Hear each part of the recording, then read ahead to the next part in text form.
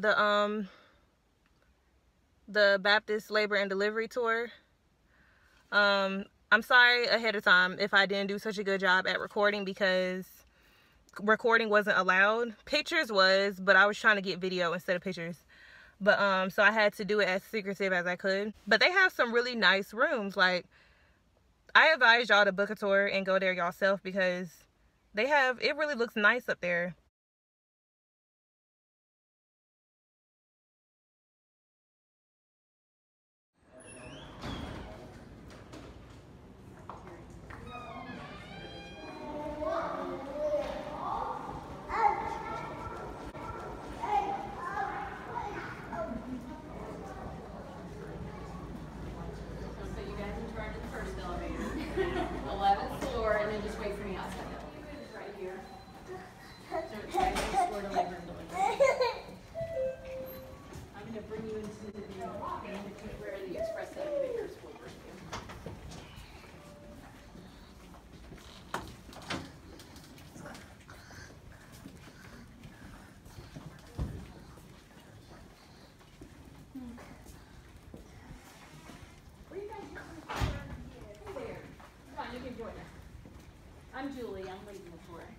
So these elevators here, this is where the express elevators will let you out. So you'll come straight up here and you're, you don't have to find anything else that delivers you straight to this desk. This is where you will check in.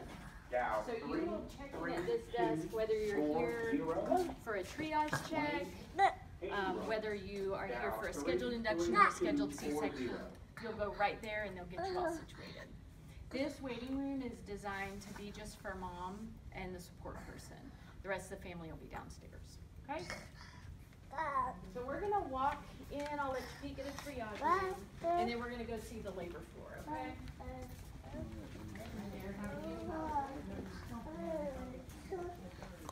Well, it was important, if mom has an epidural, it helps us position mom in a way that keeps the pelvis open.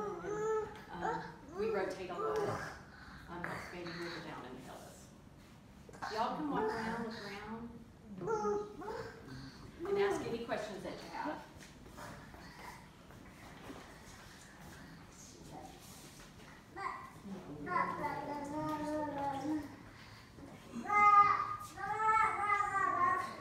And that, that couch there is pretty cool.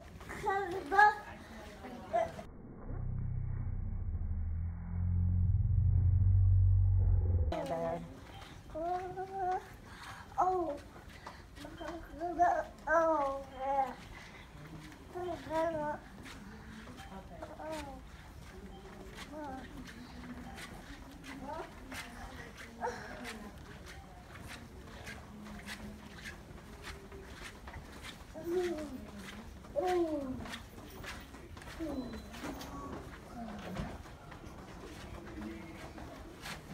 So this is the giant family waiting room. 10 floor, it's for all of women's services. Excuse me, I'm sorry. Oh, you're fine. So lots of seating. At the far end, we'll walk by it, but there's lots of tables for eating. If you have kids coming to visit you, there's little touchscreen games back in the right corner. There's vending machines, bathrooms, so kind of make yourself comfortable. They've got it kind of sectioned off where families can kind of have their own little groupings and stuff, so it's nice. Y'all are feel free to look around if you'd like.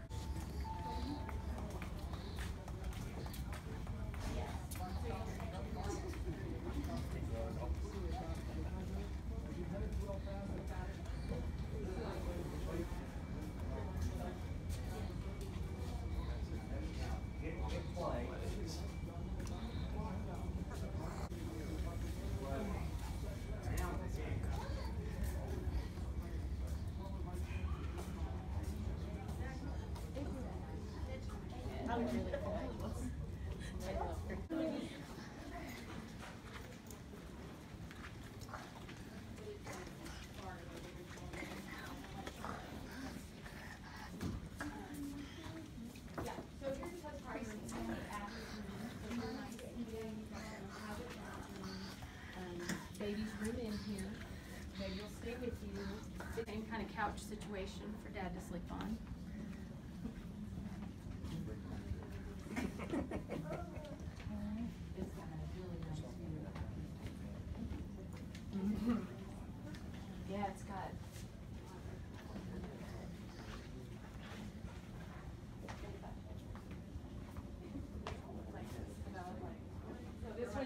This was really